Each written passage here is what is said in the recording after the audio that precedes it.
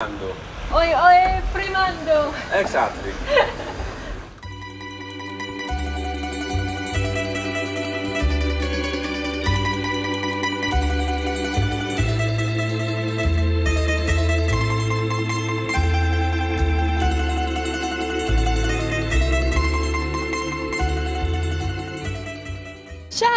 buongiorno from Italy. My name is Natasha. I'm the other traveling fox who's based in Europe, and we make travel videos to inspire the wanderlust and explore within you. So, in this video, I'm exploring the beautiful city of Venice. It's my first time. My idea of Venice was pretty much, you know, fancy gondola rides, grandeur festivals, very colorful. I know that there are a lot of boats here and canals, which is always compared to Amsterdam, right? Amsterdam is like the Venice of the north. And even in the Philippines, we have this huge Venetian mall, um, which looks really pretty, by the way. I had this clear picture of Venice. And upon being a tourist here in Venice for the first time, this city is so much more. It is one of the most fascinating cities I've actually ever visited.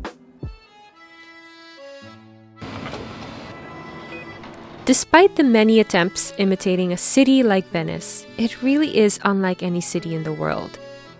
Built entirely on a lagoon dating all the way back from 5th century AD, this floating city breathes history, grandeur, and culture.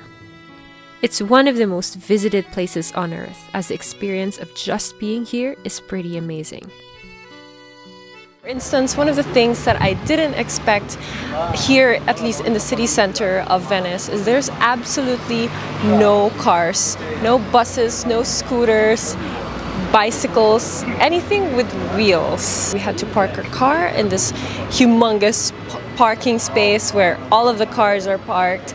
And then we had to take a vaporetto or a water bus or a water taxi to get into the city center. There are only really two modes of transportation here walking and going on boats. It's easy to get charmed with the surroundings and the fascinating stories about Venice. But one of the things I always try to do when traveling is exploring and enjoying some of the local favorites. I'm not really an aperitif kind of person, but we're in Venice, so gotta have some Aperol Spritz. Paninis are good, but this one is amazing. This is their special cream cheese. Mm. And.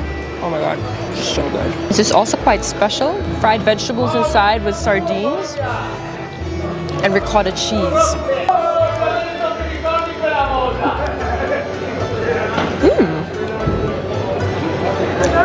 Super interesting. A little bit of tang, seafood, I don't know. I like it. After a bit of walking, eating, and getting lost in the narrow streets of Venice, it was time to explore and appreciate the city by water, naturally. But we are moving on to the more authentic, quieter, and local side, the Cannaregio district. So I'm doing a very interesting Airbnb experience. I am learning how to row like a Venetian. During this trip, I wanted to do something local and unique rather than paying for an expensive gondola ride. So I opted to learn the art of ancient rowing the Venetian way.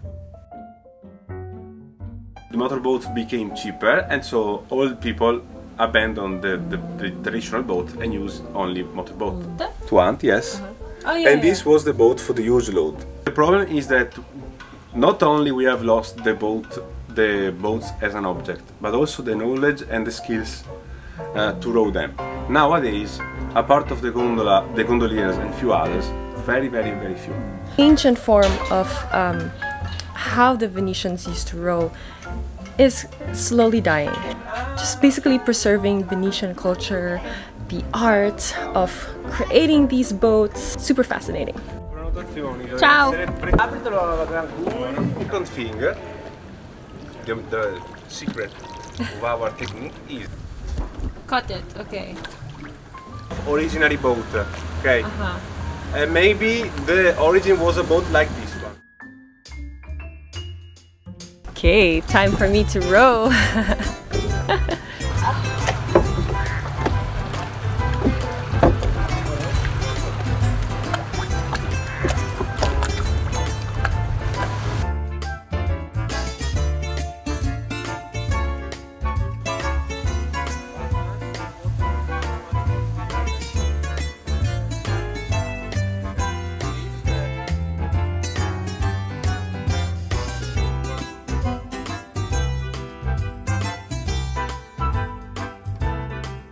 also have to stand in a way where, yeah, it's easier to balance.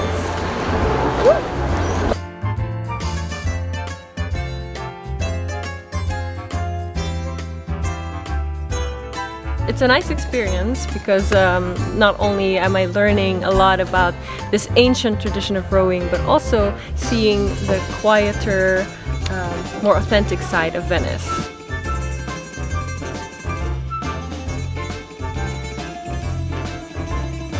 And thank you so much, Stefano. You're welcome. a true local Venetian really worked hard to preserve this ancient tradition, this Vene true Venetian culture. So, really cool. Thanks for the experience. Welcome. Gra grazie mille.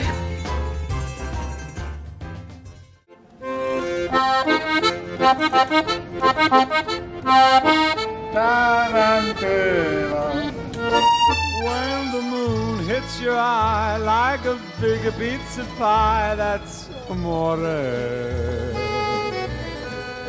When the world seems to shine like you've had too much wine, that's amore. Bells. I'm on my way back to Amsterdam now. I hope you enjoyed Venice as much as I did. Like seriously, I was very surprised of what I learned, of what I've experienced. I will definitely want to come back. Curious to know what you think about Venice. Do you also have this expectation? And um, if you have been here, what do you think about it? Please leave it in the comments below. And of course, if you haven't yet, please subscribe to the Traveling Foxes so you can get updated on our next travel adventures. Ciao!